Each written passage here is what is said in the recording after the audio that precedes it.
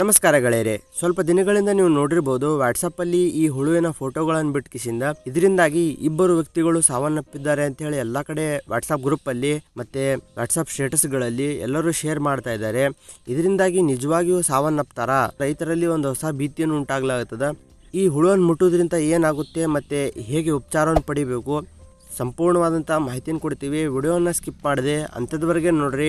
ಬರ್ರಿ, ವಿಡಿಯೋ ಶುರು ಮಾಡೋಣ. ಮೊದಲು ನಾವು ವ್ಯಾಟ್ಸಪ್ಪಲ್ಲಿ ಬಿಟ್ಟಿರುವಂಥ ಫೋಟೋಗಳ ಬಗ್ಗೆ ನೋಡೋಣ. ಇದು ನೋಡ್ರಿ ಹಂಡ್ರೆಡ್ ಪರ್ಸೆಂಟ್ ಆಗಿ ಸುಳ್ಳು ಸುದ್ದಿ ಆಗ್ಯದ. ಈ ಹುಳುವನ್ನು ಮುಟ್ಟೋದ್ರಿಂದ ಖಂಡಿತವಾಗಿಯೂ ಸಾವಾಗುವುದಿಲ್ಲ.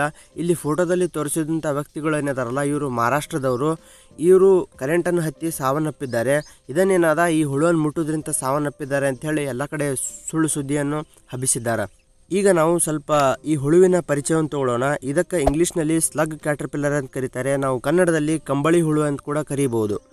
ಮತ್ತು ಇವು ಯಾವ್ಯಾವ ಬೆಳೆಗಳಲ್ಲಿ ನಾವು ಕಾಣಬಹುದು ಅಂತ ನೋಡೋದಾದರೆ ಮಾವಿನ ಗಿಡ ಆಯಿತು, ತೆಂಗಿನ ಗಿಡ ಆಯಿತು, ಮತ್ತು ಕಬ್ಬಿನಲ್ಲಿ ಬೇರೆ ಬೇರೆ ಜಾತಿಯ ಹುಳುಗಳು ಇರ್ತಾವೆ. ಆದಷ್ಟು ಇವುಗಳನ್ನು ನಾವು ಮುಟ್ಲಾರ್ದೆ ನಾವು ಇದ್ದೀವಿ ಅಂತಂದ್ರೆ ಯಾವುದೇ ರೀತಿಯ ನಮಗೆ ತೊಂದರೆ ಆಗುವುದಿಲ್ಲ.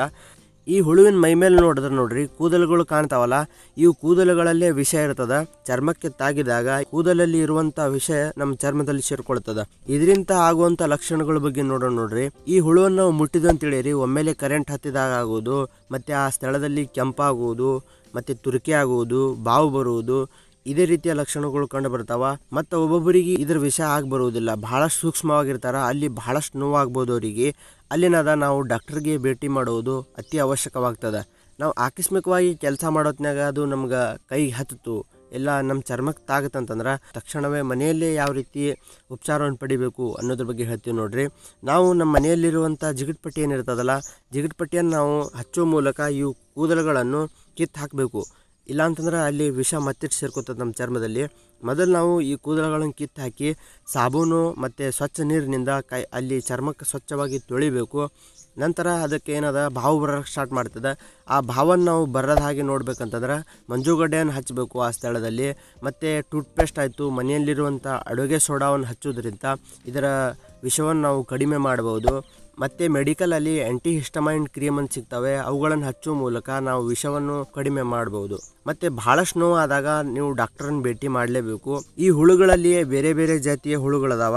ಅದರಲ್ಲಿ ಕೆಲವೊಂದಿಷ್ಟು ಮಾತ್ರ ವಿಷಕಾರಿ ಆಗ್ಯಾವ. ಎಲ್ಲವೂ ವಿಷಕಾರಿ ಅಲ್ಲ.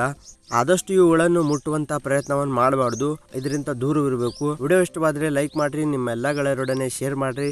ಚಾನಲ್ಗೆ ಸಬ್ಸ್ಕ್ರೈಬ್ ಮಾಡಿರಿ. ಮತ್ತೆ ಭೇಟಿ ಆಗೋಣ ಹೊಸ ವಿಡಿಯೋ ಹೊಸ ಮಾಹಿತಿಯೊಡನೆ ಧನ್ಯವಾದಗಳು.